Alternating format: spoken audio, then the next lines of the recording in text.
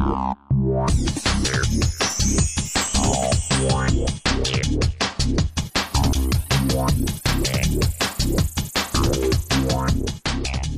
อยู่กับเบรกที่2นะคะกับรายการช้อปปิ้งบันเทิงค่ะเบรกนี้ค่ะเหมือนเดิมค่ะคุณเบลค่ะเบรกที่แล้วเราบอกไปแล้วว่ามีใครกันบ้าง 3 ดาราที่บอกว่ามีข่าวฉาวมากๆ แต่ก็ดังมากๆ แม้แต่จะแม้แม้ว่าจะผลงานทางละครอือฮึหรือว่าทางท่าจอโทรทัศน์เนี่ยจะไม่ค่อยมีก็ตามค่ะค่ะ ซึ่งเบรกนี้ค่ะ เรายังมีอีก 4 นักแสดงด้วยกันค่ะมาเริ่มต้นกันดีกว่าค่ะ ที่คนแรกเลยค่ะ คนนี้เนี่ยหนังนางเอกสาวทรงโตอย่างตั๊กบงกฎอืมซึ่งอันนี้เมื่อปีตัวจริงที่แล้วใช่ ซึ่งเมื่อปีที่แล้วเนี่ยค่ะได้ประกาศฟ้าแลบเลยว่าจะมีการวิวาห์กับนักธุรกิจหนุ่มใหญ่ ซึ่งใครคือหลายๆคนเนี่ยยังไม่เคยทราบมาก่อนเลยว่าสาวตั๊กคบอยู่กับใคร แล้วทำไมอืมอยู่ๆมาประกาศแต่งงานทีนี้ก็เลยแบบหลาย ๆ คนเลยไปสืบค้นประวัติมาเลยว่าเจ้าบ่าวของหนุ่มตั๊กเอ้ยสาวตั๊กเนี่ยคือใครก็เลยละทราบมาว่าเป็นเสียหนุ่มพันล้าน ค่ะอย่างคุณเอ่อคุณบุญบุญชัชัยย เบญจรงกุลซึ่งหลาย ๆ คนบอกว่าเอ๊ะงานนี้สาวตั๊กเนี่ยตกถังข้าวสารกันไปเต็ม ๆ เลย ค่ะ ซึ่งหลังจากนั้นเนี่ยทั้งคู่เนี่ยก็หลังจากผ่านแบบมรสุมกระแสข่าวอือฮึลือว่าแบบคบกันได้ไม่นานหรอกแต่งกันได้ไม่นาคืนอหจรอก ริงๆ แล้วเนี่ยกระแสเนี่ยนะคะไม่ใช่อะไรหรอกเพราะว่าอย่างที่เรารู้กันดีนี่นะคะค่ะเจ้าสัวบุญชัยเป็นจรงคกุลเนี่ยค่ะนะคะเป็นมหาเศรษฐีแบบ มหาเศรษฐีมหาใช้คำนี้มากๆเลยนั่นแหละอ่าเนี่ยนะคะ ค่ะแบบที่รวยมากๆค่ะเลยหลายๆคนก็มองแล้วโอ้ยไม่ได้แต่งไม่เพรราะอดความรักแล้วแหละหรอกอะไรอย่างเงี้ยแต่ว่าถ้าย้อนค่ะกลับไปเลยนี่นะคะอันนี้เนี่ยก็เคยได้อัปเดตข่าวกันตั้งแต่ ช่วงที่ค่ะเขาเนี่ยมีข่าวด้วยกันว่าจะแต่งงานอะไรออกมาเนี่ยนะคะอืมคือเจ้าสัวบุญชัยเนี่ยเป็นแฟนคลับของสาวตั๊กอยู่แล้มาก่ว อนหน้าติดตามนี้ผลงานแล้วของค่ะสาวตั๊กอยู่แล้วเนี่ยนะคะคือชื่นชอบในผลงานส่วนตัวอยู่แล้ว ค่ะ แต่หลังจากที่แบบได้มารู้จักการเจองานเอ่ออม เจอการตามงานหรือตามอะไรอย่างเงี้ยเนี่ยนะคะก็เลยค่ะทำให้รู้สึกว่ามันคลิกกัน แล้วก็อืมอย่างที่สาวตั๊กเคยบอกเลยนะคะ ว่าแบบค่ะเจ้าสัวเนี่ยนะคะ ดูแลดีแบบค่ะทุกอย่างคอยสอนคอยบอกอ่าอะไรอย่างเงี้ยจนแบบโอ้ยตอนนั้นเนี่ยฝ่ากว่าจะฝ่าวิกฤตมาได้ใช่เนี่ยนะคะสุดยอดจริงๆสำหรับคู่นี้ ใช่ซึ่งทั้งคู่อือฮึค่ะเขาก็ได้แบบอย่างที่เวลบอกค่ะได้ฝ่าฟันวิกฤตจนพิสูจน์ให้เห็นแล้วว่าค่ะตอนนี้เขามีพยานแบบพยานรักเป็นโซ่ทองคล้องใจอย่างน้องข้าวหอมมาแล้วซึ่งเขาบอกว่าใช่ซึ่งเล่ามาว่าเนี่ยเจ้าสัวบุญชัยเนี่ยหลงเหลือเกินหลงรูปคนนี้เหลือเกินค่ะค่ะ โดยที่แบบว่ามีอะไรเนี่ยก็แบบว่า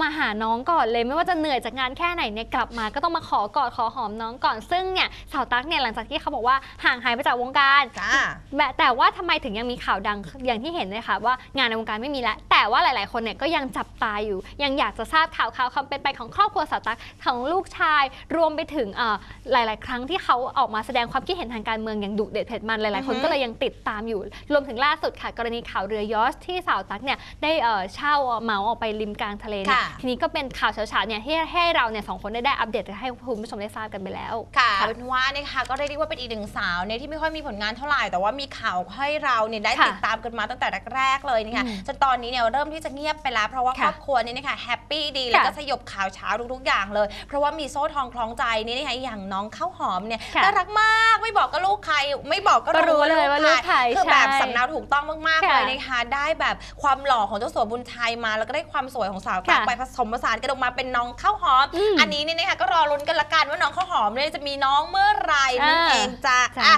มาดูกันอีกหนึ่งสาวเลยค่ะดีกว่านะคะที่แจ้งเกิดเนี่ยนะคะบนเวทีซุปเปอร์โมเดลเนี่ยตั้งแต่อายุเพียงแค่ 18 ปีค่ะนั่นเองค่ะ หลังจากที่ได้ตำแหน่งแล้วเนี่ยนะคะเวทีซุปเปอร์โมเดลแล้วเนี่ยหลายคนก็บอกเอ๊ะเมื่อไหร่จะมีผลงานสักทีสำหรับสาวน้อยคนนี้เลยนะคะสสิสินทวีนั่นเองค่ะค่ะซึ่งน้องเนี่ยนะคะหลังจากที่ได้รับอ่ารางวัลในการประกวดค่ะแล้วเนี่ยหลายคนก็ลุ้นอยู่แล้ว เมื่อไหร่จะมีละครเมื่อไหร่จะมีงานในวงการบันเทิงจนมีโอกาสได้ไปสัมภาษณ์เนี่ยนะคะน้องค่ะก็บอกว่าตอนนี้เนี่ยก็ดูในเรื่องของละครอยู่ อยู่ในส่วนที่ผู้ใหญ่เนี่ยนะคะจะค่ะตกลงกันว่าความเหมาะสมแล้วเนี่ยนะคะจะเหมาะกับพระอ่าละครแบบค่ะไหนหรืออะไรยังไงเนี่ยนะคะจนหลายๆคนโอ้ยรอแล้วก็รออีกทำไมไม่มีผลงานอืมสักที ถึงแม้ว่าเธอเนี่ยนะคะจะไม่มีผลงานเลยในวงค่ะการบันเทิงค่ะ แต่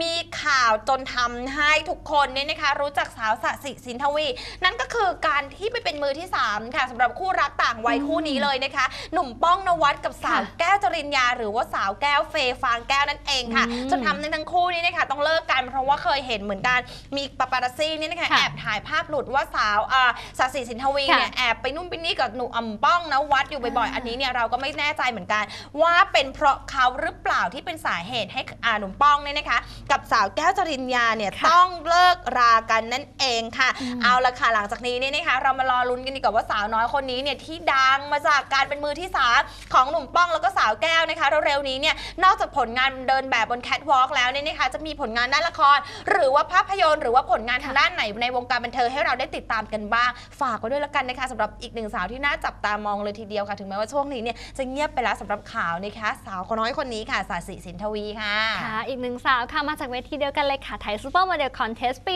2008 ค่ะอย่างสาวกิฟต์ออร์ลีนางร้ายหน้าเป๊ะซึ่งแต่ก่อนเนี่ยหลังจากที่หลาย ๆ คนเนี่ยได้เห็นผลงานฝีมือการแสดงของเธอมาแล้วทั้งในบทนางร้ายจนบางคนเนี่ยลืมภาพการเป็นซูเปอร์โมเดลของเธอไปแล้ว แต่ว่าตอนนี้เนี่ยเธอไม่แบบ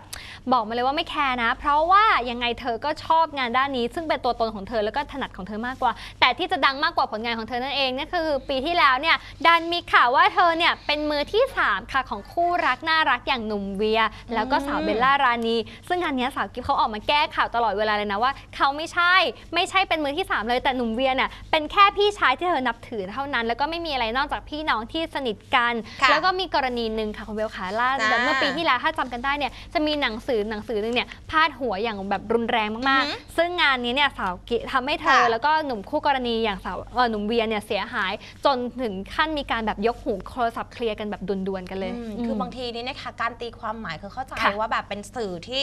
สื่อที่ถ่ายทอดนะคะอ่าแล้วก็แบบปล่อยข่าวค่ะอะไรอย่างเงี้ยสำหรับคนไทยอะไรอย่างเงี้ยหลาย ๆ คนอย่างตัวเราเองเนี่ยก็ชอบค่ะดูข่าวดาราหรือดูอะไรอย่างนี้เนี่ยนะคะบางทีเนี่ยคำพูดที่เขาแบบเขียนอะไรอย่างเงี้ยก็ก็เข้าใจเหมือนกันว่า ถ้าเราเป็นเป็นบุคคลที่ถูกกล่าวอ้าง แล้วก็ถูกพูดถึงด้วยถ้อยคำแบบนั้นค่ะเราก็รู้สึกไม่พอใจถูกไหมคุณวิว ไม่สบายใจอย่างหนึ่งละไม่พอใจอย่างหนึ่งละแล้วก็อาจจะเกิดความเสียหายผลกระทบกับหลาย ๆ อย่าง ไม่ว่าจะเป็นค่ะงานที่เขารับไว้นะคุณเบลอือฮึขาบางทีมันต้องอาศัยภาพลักษณ์ไงพอมีข่าวเสียหายเงี้ยก็เลยต้องมีการเคลียร์กันเกิดขึ้นแล้วแหละถูกต้องเลยค่ะคือบางทีนี่นะคะสื่อก็โดนโจมตีเยอะเหมือนกันว่าแบบนั่งเทียนเขียนข่าวจะเขียนแบบนี้ได้ยังไงคือมาอยู่ค่ะใกล้ๆเขาเหรอทำไมอืมถึงรู้เรื่องค่ะความลับอะไรอย่างเงี้ยคือบางเออทีนี่นะคะก็ก็แล้วแต่ละกันค่ะเนาะวิจารณญาณของแต่ละค่ะคนนี่นะคะตั้งแต่คนปล่อยข่าวค่ะคนเสพข่าวคือแบบเออออะไรต่างๆอันเนี้ยก็แล้วแต่ละกันอยู่ที่ว่าใช่เราค่ะเนี่ยนะคะจะเข้าใจความหมายกันยังไง ใช่เพราะว่าไม่มีใครหรอกที่จะแบบไปบังคับได้ว่าอ่าต้องเข้าใจแบบนี้นะ อ่าฉันเป็นแบบนี้หรือว่าเรานะสองคนก็ไม่มีสิทธิ์ที่จะไปชี้นำให้คุณผู้ชมเข้าใจถูกแบต้บองไหนเลยเราค่ะเราสองคนมีหน้าที่เพียงแค่นำเสนออม ข่าวที่ออกไปเท่านั้นค่ะ ถูกต้องเลยค่ะทุกๆอย่างนี่นะคะขึ้นอยู่กับความเข้าใจแล้วก็วิจารณญาณในการรับรู้รับชมแล้วก็รับฟังนะคะของตัวเราเองทั้งนั้นแหละค่ะ อืมอะผ่านไปแล้วนะคะก็หลายท่านแล้วนั่นเองนะคะอืมสำหรับเอ่อเรียกได้ว่าอีกหนึ่งคู่เมื่อสักครู่นี่นะคะที่ค่ะคุณวิวบอกแล้วระหว่างสาวกิฟต์ออลลี แล้วก็หนุ่มเวียสุกลวัฒน์ค่ะนี่นะคะ ซึ่งก่อนที่เขาเนี่ยจะมีข่าวว่าอ่ามีน้องสาวคนสนิทอย่างเบลล่าราณีค่ะเนี่ยก็ตกเป็นข่าวกับสาวกิฟต์ออลลีเหมือนกันอืมเพราะว่าเป็นพระเอกเนี่ยนะคะแล้วนางร้ายร่วมช่องกันก็คือวิกหลากสีอย่างช่องเจ็ดนั่นค่ะเองค่ะจะทำให้หลายๆคนเนี่ยนะคะก็ทุนและถึงความสัมพันธ์ระหว่างหนุ่มเวียกับสาวกิฟต์เนี่ยอืมว่าจะเป็นอะไรกันแน่เราเจอเราก็สัมภาษณ์กันอยู่ตลอดเลยอ่าแต่ว่าก็ได้คำตอบมานะคะเหมือนว่าเป็นเดิมเพียงแค่ตลอดเลยพี่น้องที่อืมสนิทกันนั่นเองค่ะค่ะ มีอะไรก็คอยปรึกษากันนั่นเอง แล้วก็สำหรับสาวกิฟต์เนี่ยนะคะก็มีข่าวเยอะแยะมากมายไม่ว่าจะเป็นเรื่องมือที่ 3 ของสาววีอะหนุ่มหนุ่มเวียร์เวียร์แล้วก็สาวเบลล่าเนี่ยนะค่ะตลอดสัปดาห์ที่ผ่านอ่าตลอดปีปีที่ผ่านมา เออก็ยังมีข่าวอีกเนี่ยนะคะค่ะว่าน้องสาวคนสวยเนี่ยน้องเกรซเนี่ยค่ะก็ไปกุ๊กกิ๊กกุ๊กกิ๊กอยู่กับหนุ่มพอสอะไรอย่างเงี้ยแล้วก็อ่าหนุ่มพอสเนี่ยนะคะก็ลุกเป็นแบบคาสโนวาอืมอะไรอย่างเงี้ยหลังจากที่เขาเนี่ยคือเป็นเพื่อนสนิทกันค่ะระหว่างหนุ่มพอสกับสาวกิฟต์เนี่ยนะคะค่ะ จะทำให้ต้องมีปัญหาการถึงขั้นตัดเพื่อนกันไปเลยก็ว่าได้นั่นเองค่ะสำหรับค่ะ คู่นี้เรียกได้ว่านี่ค่ะความรักกว่าจะแบบพิชิตใจพี่สาวได้อะไรเงี้ยเราก็ไม่รู้หรอกเขามีปัญหาอะไรกัด่านนหรือกันอะไรมาเยอะเหมือนกันนะใช่ทำไมถึงอ่าแบบทะเลาะกันรุนแรงขค่ะนาดนี้เป็นเพราะความเจ้าชู้ของหนุ่มพอสหรือเปล่าอันนี้เราก็ไม่แน่ใจเนี่ยนะคะ ค่ะแต่ว่าสถานะระหว่างสาวเกรซกับหนุ่มพอสเนี่ยเราก็เคยอัปเดตกันมาแล้วว่าก็เป็นพี่น้องที่สนิทอืม ต่อกันเท่านั้นเองค่ะ ก็อยากให้ความสัมพันธ์นี้นะคะระหว่างเพื่อนระหว่างสาวกิฟต์แล้วก็หนุ่มพอสเนี่ยกลับมาคืนดีกันเป็นเพื่อนกันค่ะ เหมือนเดิม แล้วก็นี่เลยนะคะเคลียร์ข่าวกันไปแล้วละกันสำหรับสาวกิฟต์ออลลีเนี่ยนะคะค่ะว่าไม่ได้เป็นมือที่3ระหว่างหนุ่มอืมเวียกับสาวเบลล่าราณีแคมเปนจ้าแน่นอนจ้ะอะวันนี้นี่นะคะยังมีอีกหนึ่งสาวแล้วกันที่ค่ะเรียกได้ว่าแบบหลาย ๆ คนเนี่ยคงจะเคยเอ่อเห็นผลงานเพลงของเขาค่ะสำหรับสาวเมทันสุขาวเนี่ยนะคะอืมหรือว่าสาวค่ะเมทันแห่งวง The Poison ค่ะของค่าย Iconic Records นั่นเองค่ะอืมแต่เชื่อได้ว่าหลาย ๆ คนเนี่ยนะคะคงจะไม่เคยรู้จักสาวเมทันใช่ในฐานะนักร้องแน่นอน แต่ว่ารู้จักสาวเมทันเนี่ยนะคะในฐานะแฟนของพระเอกขั้นเทพอย่างโดมถูกต้องเลยนั่นเองค่ะค่ะ แต่ว่าก่อนหน้านี้เลยนะคะค่ะย้ อนกลับไปเลยอ่าไกลมาก ไกลๆหลังจากที่สาวค่ะเมทันแห่งวง Poison เนี่ยนะคะได้มาร่วมงานกับค่าย Iconic Records อืมซึ่งเป็นค่ายของเนี่ยนะคะพระเอกหนุ่มหล่อขั้นเทพ อืมอย่างหนุ่มโดมปกรณ์ลำเนี่ยจ้ะซึ่งณตอนนั้นเนี่ยนะจ๊ะหนุ่มโดมปกรณ์ลำเนี่ยก็เป็นแฟนกับสาวกัจจางจิรันทนินนั่นเองค่ะแต่ว่าก็มีข่าวมาว่าสาวเมทันนี่แหละทำให้คู่รักคู่นี้เนี่ยอืมบั่นคอเขาเรียกว่าอะไรบั่นะนสั่นคลอคลอนนสั่นคลอนอ่าอ่าแบบเหมือนแบบจะเลิกรากันหรือเปล่าอะไรอย่างเงี้ยจนกลายเป็นว่าสาวเมทันเนี่ยเป็นมือที่สามค่ะนะคะ แล้วก็โอ้โหตอนนั้นเนี่ยคือแบบเป็นอะไรที่ดังมากอืมๆเพราะว่ามีทั้งเพจเนี่ยแอค่ะนตี้โดมหรืออะไรที่แบบทั้งเมทันโอ้โหคือเยอะมากจนจับตัวหาคนทำเนี่ยนะคะไม่ค่ะได้จนสืบไปสืบมาเขาก็เลยกลายเป็นว่านี่แหละสาวเมทันนี่แหละเอ้ยที่ไม่ใช่เป็นเมทันขออภัยค่ะ กัจจังกัจจังจิรันทนินนี่แหละอืม เป็นคนทำเพราะว่าก่อนหน้านี้นี่นะคะหลายๆ คนก็เริ่มสงสัยถึงความสัมพันธ์เนี่ยนะคะระหว่างหนุ่มโดมปกรณ์ลำกับสาวเมทัน อ๋อใช่ ว่ามีอะไรในกอไผ่หรือเปล่าถ้าเราตจำอกันได้ตอนนั้นนะคุณเบลค่ะที่แบบว่าพยายามจะหาต้นตออมสาเหตุที่มา